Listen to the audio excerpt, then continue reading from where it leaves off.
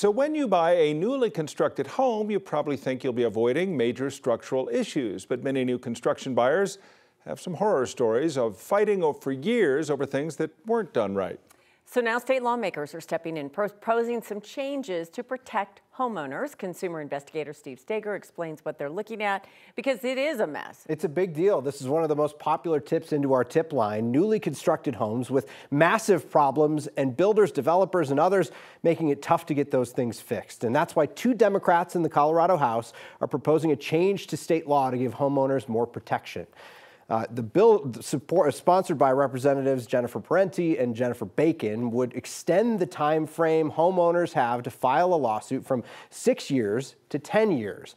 A lot of homeowners who've sued said that by the time the claims are paid, repairs already cost more because of inflation. So this bill would require interest be paid on any judgment in favor of the homeowner to match inflation and the rising cost of materials. And it would also make it a violation of state law for builders and developers to include a waiver of claims as part of a homeowners association covenant.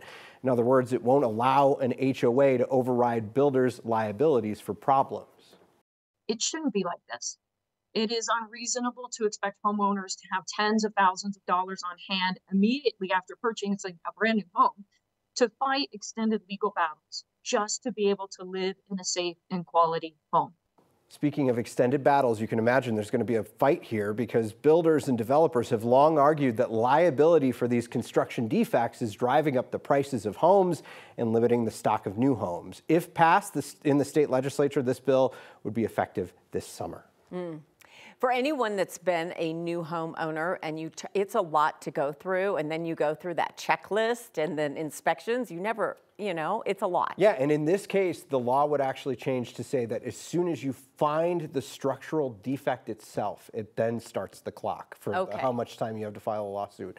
So before, it was any potential problem like flooding that you spotted, that would start the clock. Now it's, oh, this was built incorrectly. I figured out what it is. That's what starts the clock. It's only the single biggest purchase yeah, pretty much anyone will ever make. And, so it's so important. think about right. that. You've just spent so much money on a home, you think everything will work just fine, and then you find a huge problem that costs tens of thousands of dollars. Let's see if this helps. Yep. All right. Thank you, Steve. Mm -hmm.